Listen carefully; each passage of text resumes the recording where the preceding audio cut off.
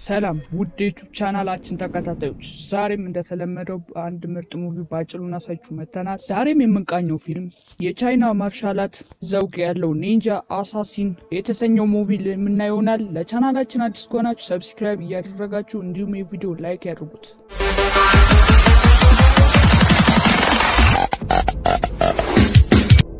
ፊልሙ ሲጀምር አንድ ሽማግሌ የታቱ ባለሙያ የከተማው አንድ ጋንግስተር ላይ አንድ ታቶ ሲነቅስ ይታያል። የከተማው ጋንግስተሮች የተለያዩ ንቅሳቶችን እዚህ ሽማግሌ እየመጡ ይነቀሳሉ። በዚሁም አጋጣሚ አንድ የከተማው ጋንግስተር መጣና ለሽማግሌው ጥቁር ሰጥቶት ምን እንደሆነ በቀልድ መልክ ይጠይቀዋል። ሽማግሌው ግን እንደነሱ ሳይስቅ በድንጋጤ ክው ይላል። አስከትሎም ይህ ጥቁር አዋሻዋ የሚያሳየው አስከኛችሁ ወደ ከተማ መምጣት ነው ሄዳችኋል። በመቀጠልም ከዓመታት በፊት የዓለማችን ገዳይ የተባሉትን ኒንጃዎች እንዳገኛቸውና በጣም ጨካኝ በጣም ጨካኝ የሆኑ ያወቀው እንደሆነ ይነግራቸዋል። ጋንግስተሩ በዚህም ጊዜ አንተ ምን አይነት ቦቅቧቃ ነህ በማለት ይዙበት የሽማግሌው ሸሚዙን ያውልቆና ያንን የኒንጃውን አንድ ኒንጃዎች ሲያገኛቸው ያሳረሩት ጠባሳ እንደሆነ ይነግራቸዋል። በተጨማሪም እስካሁን በህይወት ሊኖር የቻልኩት ፈጠር ልቤ በቀኝ በኩል እንደሆነ ብሎ ይነግራቸዋል። በዚህም ጊዜ ከጋንግስተሮች መካከል የአንዱ ጭንቅላት ከመሃል ሲከፈል እናያለን። በመቀጠልም ጋንግስተሮቹ ይደነግጡና ተኩስ ይፈጥራሉ።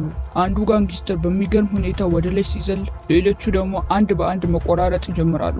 ሁሉም ጋንግስተሮች ካለቁ በኋላ ከትልቁ አስፈሪ ኒንጃዎች ጨለማ ውስጥ ብቅ ብቅ ማለት ይጀምራሉ። ትዕይንቱ ሲቀየር ኦዙን የተባሉት የጃፓን ጎሳዎች እንመለከታለን። ኦዙኑ የሚባሉት ጎሳዎች የኒንጃዎች ስብስብ ሲሆኑ የሚመሩትም ጌታ ኦዙን በሚባል ሰውዬ የኦዙኑ ጎሳዎችም የሚሰሩትም ስራ ህጻናቶችን ከተለያዩ የዓለማችን ክፍሎች በመሰብሰብ በጣም ከባድ በሆነ ስልት ካሰለጠናቸው በኋላ ቅጥር ነፍሰ ገዳይ ማድረግ ነው። በዓለም አቀፍ ባሉት መሪዎች ዘንድ ታዋቂ ሲሆኑ ነገር ግን ከሌላ ዓለም ክፍል ድብቅ ናቸው። በተጨማሪም ሌላም መቶ ፓውንድ ለጎሳው ማቅረብ የሚችል ሰው ከኒንጃዎች መካከል አንዱን ቀጥሮ የፈለገውን ማስገደል ይችላል። ይህም ኦዙኑ የተባለው የኒንጃዎች አስፈሪ የኒንጃ ስብስብ ለመቶ ዓመታት ኖሮ ማንም ሳያውቃቸው እናም ከተለያዩ ሀገራት ግድያዎች ጀርባ እጃቸው እንዳለ ይነገራል። እንደ ምሳሌም የሩሲያ ፕሬዝዳንት ከጃፓን ጠቅላይ ሚኒስቴር ከሚኒስቴር እናም ከተለያዩ መሪዎች ግድያ ጀርባ እጃቸው ያለ ስለ እነሱና ስለሚሰሩት ስራ የሚያውቁ ማንኛውም አካል ሊጠይቃቸው ድፍረት የለውም። አንድ ጊዜ በመምሪያ ጊዜ የጎሳው መሪ የሆነ ኦዙን ለግሩፑ ራዚዮ የተባለ የአምስት ዓመት ታዳጊ ያስተዋውቃቸዋል። ራዚዮ በቤተሰቦቹ የተተወ ልጅ ሲሆን በመሪያቸው አማካኝነት ወደ ግሩፑ ይቀላቀላል። ጌታ ኦዙንም ራዚዮን ሲመለከት ከሱ ቀጥሎ የግሩፑ መሪ የሚችለው እሱ እንደሆነ ይነግረዋል። አለቃቸውም ለራዚዮ ያለው ግምት የተነሳ ትሬዲንጉ የትኛውንም ጊዜ በበለጠ ራዚዮ ይበረትበታል። ቤተሰቦቹም ራዚዮን በማጣታቸው ክፉኛ ስለሚገርፉት ገና በአስር ዓመቱ ጠባሳ በጠባሳ ሆኖ ነበረ። አንድ ኒንጃ ከሚበቀል ኖሩት ከሚገባው በላይ ብቃቶች መካከል አንዱ ተደብቆ የመቆየት ችሎታ ነው። በዚሁም የተነሳ የኦዙኑ ጎሳዎች አንድ ፈተና አላቸው። እሱም ድምፅ የሚፈጥር በእንጨት ወለል ላይ ድምፅ ሳያሰሙ መራመድ ሲሆን ተፈታኙ ድምፅ የሚያሰማ ከሆነ ተረገሱን በልምጫ የሚገርፉት ይሆናል። ይሁንን ፈተና ራዚኑ ሲፈትኑት እንመለከታለን። ማታ ላይ የኦዙኑ ጎሳዎች ጭልጥ ያለ እንቅልፍት ውስጥ ይገባሉ። ምክንያቱም ቀን የሚያሳልፉት ጠና ከባድ ስለሆነ እረፍት ስለሚያስፈልጋቸው ነው። ራዚኑ ኝቶ ባለበት ሰዓት አንድ ልጅ ትመጣና ቁስሉ ላይ ቀባት ታደርግበትና በሕይወቱ አይቶ ማያውቀውን ደግነት ታሳየዋለች። የልጅቷም ስም ክሪኮ ሲባል የ group ሴት አሰልጣኝ ነች። group ውስጥ ያሉት የሴት የህፃናት ስሜታዊ መሆን እንደሌለባቸውና ምንም አይነት ደግነት ማሳየት እንደሌለባቸው ቢማሩም ኪሪኮ ግን ለየት የምትል ልጅ ነች። በተጨማሪም የኦዙኑ ጎሳዎች በሚፈጽሙት ግድያና በህጋቸው አታምንም። ፊልሙን ከብዙ ዓመታቶች ውስጥ በላይ ይሄድና ራዚዩና ኪሪኮ አድጎ እንመለከታለን። ብዙም አያወሩም፣ ነገር ግን እርስ በእርሳቸው ይጠባበቃሉ። ራዚዩ ከኦዙኑ ጎሳዎች ውስጥ በጣም ጎበዝና አደገኛ ኒንጃ ሆኗል። ነገር ግን ታላቁ ከሆነ አሰልጣኝ ቴክሺ ጋር ሲጋጠም ሁሌም ይሸነፋል። ምክንያቱም ኪሺ foul የሆነ ስልት ነበር። ማስተሩም ነገሩን ከመቃወም ይልቅ ራዚዩን ደካማ በመሆኑ ይወቅሰው ጀመር። ቀጥሎም በጣም ከባድ የሆነ finger push ን ቴክኒክ ራዚው ላይ ተጠቀመበት። ራዚውን በዚህም ሰዓት በጣም ከባድ ስቃይ ውስጥ ይገባል። ያንንም ማታ ምንም አይነት ሕክምና ሳይሰጠው ያሳልፋል። ምሽቱም ያልፍና በቀጣዩ ቀን ጠዋት ኦዙኑ ራዚውን የቀኑን ልምምድ ዝግጁ መሆኑን ይመለከትና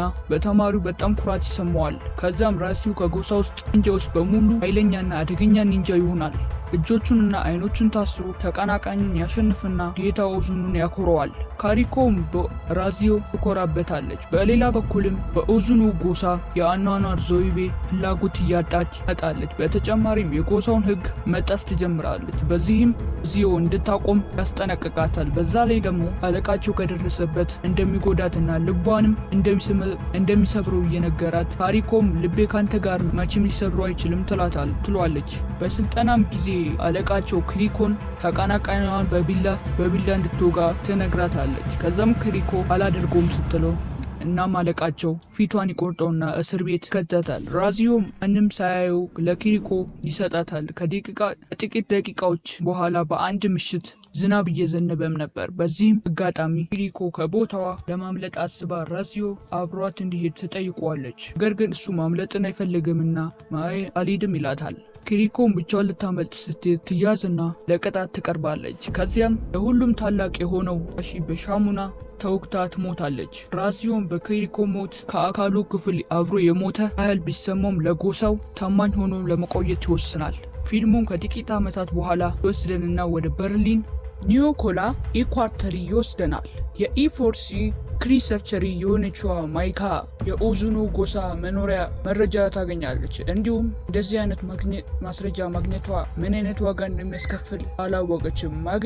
ማይካ ያገኘችው ማስረጃ አለቃዋ ማስሎ ታቀርብለታለች። ማስሎ ግን መሪዎች ብቻ የሚያውቁትን የኒንጃ ኦርጋናይዜሽን ማመን አልፈለገም። በዚህ ጊዜ ማይካ ለአለቋ በሀገራት መረጃዎችና ታዋቂ ሰዎች ግድያ ላይ የገንዘብ ቁርኝነት በማስረጃ ታቀርብለታለች። አለቋ ማይካም በተወሰነ ደረጃ ያምናትና የበለጠ መረጃ ለማግኘት ይወስድ በጣም ጎበዝ የሆነው agent የሆነውና ከማይካ ጋር ተመሳሳይ ሪፖርት የሚያቀርብ አባስቲያን አንድ ግለሰብ ያገኛል። ነገር ግን ይሄ agent የሚገለጸው በላይ ነገሮችን ቆፍሮ ስላገኘ ከስራ ያባርሩትና ማወቅ የሌለበትን ነገር ስላወቀ በ official ይገደላል።